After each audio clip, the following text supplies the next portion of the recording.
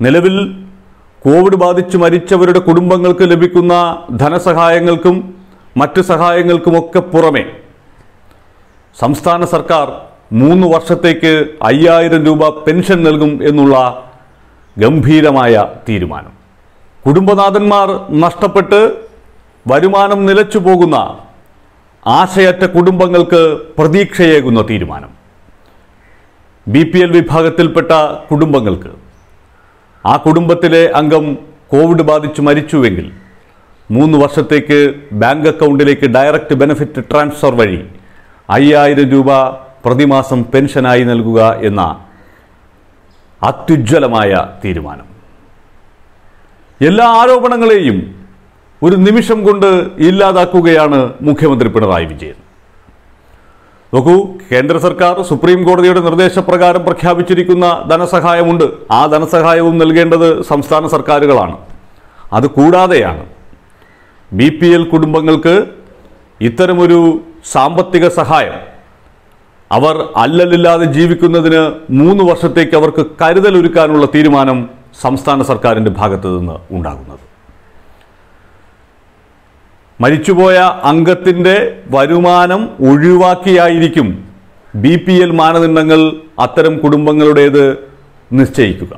അതും ഒരു അനുഗ്രഹമാണ് ഒരൊറ്റയാളിന് മാത്രം വരുമാനം ഉണ്ടായതിന്റെ പേരിൽ കുടുംബം ബി പി എല്ലിന് മുകളിൽ നിന്നിട്ടുള്ളവരാണെങ്കിൽ ആ വരുമാനം നിലയ്ക്കുന്ന ഒരു സാഹചര്യം ഉണ്ടായിട്ടുണ്ടെങ്കിൽ ആ കുടുംബത്തെ ബി പി എൽ പരിധിയിൽ ഉൾപ്പെടുത്തിക്കൊണ്ട് അവർക്കും പ്രതിമാസം അയ്യായിരം രൂപ മൂന്ന് വർഷത്തേക്ക് നൽകുക എന്നുള്ളതാണ് തീരുമാനം. അതോടൊപ്പം പുറത്തിറക്കിയിരിക്കുന്ന നിർദ്ദേശങ്ങൾ മുപ്പത് ദിവസത്തിനുള്ളിൽ അത്തരം കുടുംബങ്ങളെ കണ്ടെത്തി അവർക്ക് ഈ ധനസഹായം നൽകി തുടങ്ങണം എന്ന്. ഒറ്റ പേജിൽ ഒതുങ്ങുന്ന അപേക്ഷാ ഫോമിലൂടെ നടപടികൾ സങ്കീർണമാകാതെ നോക്കണമെന്ന്. അപേക്ഷകരെ ഓഫീസുകളിലേക്ക് വിളിച്ചു വരുത്തി ബുദ്ധിമുട്ടിക്കരുത് എന്ന്. ഒരു തീരുമാനം പ്രഖ്യാപിക്കുക മാത്രമല്ല അത് നടപ്പിലാക്കുന്നതിന് വേണ്ടുന്ന ഈ മനുഷ്യരെ ബുദ്ധിമുട്ടിക്കാതെ സങ്കടക്കടലിൽ നിൽക്കുന്ന ആളുകൾക്ക് കൂടുതൽ വേദന നൽകാതെ അവർക്ക് ആ കൈത്താങ് എത്തിക്കുന്നതിനുള്ള സംവിധാനം ഒരുക്കാൻ കൂടി ശ്രദ്ധിക്കുന്നു എന്നുള്ളതാണ്. ഇനിയുമുണ്ട് ഈ പണം ഈ സഹായം തൽക്കാലം നൽകുക മുഖ്യമന്ത്രിയുടെ ദുരിതാശ്വാസ നിധിയിൽ നിന്നാണ്. ബജറ്റിൽ പുതുതായി ഇത്തരം പെൻഷൻ നൽകുന്നതിന് വേണ്ടിയിട്ടുള്ള തുക മാറ്റിവയ്ക്കുന്നത് വരെ ദുരിതാശ്വാസ നിധിയിൽ നിന്ന് ആ പണം നൽകുക എന്ന് പറഞ്ഞാൽ അതിനും ചെലവാകുന്ന വലിയ തുകയെക്കുറിച്ചുള്ള ധാരണ നമ്മുടെ മനസ്സിലുണ്ടാകണം.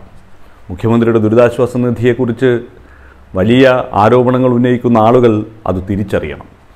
നിങ്ങൾ വാക്സിൻ ചലഞ്ചിലൂടെ പിരിച്ച പൈസ എവിടെ? നിങ്ങൾ മറ്റതിലൂടെ പിരിച്ച പൈസ എവിടെ? പ്രളയത്തിന് പിരിച്ച പൈസ എവിടെ? മുഖ്യമന്ത്രിയുടെ ദുരിതാശ്വാസ നിധിയിൽ കുന്നുകൂടി കിടക്കുകയാണ് മുഖ്യമന്ത്രി അതെടുത്ത് പുട്ടടിക്കുകയാണ് എന്നൊക്കെ പറഞ്ഞുകൊണ്ടിരിക്കുന്നവരുണ്ട്.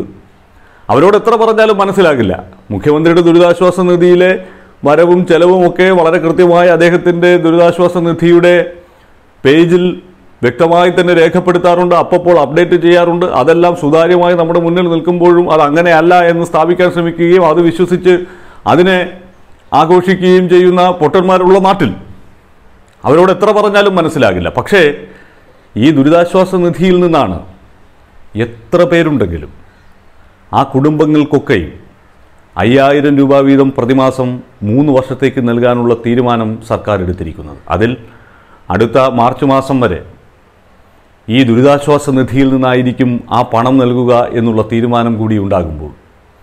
ശരിക്കും നമ്മളെ അത്ഭുതപ്പെടുത്തുക തന്നെയാണ് ഈ ഭരണാധികാരി.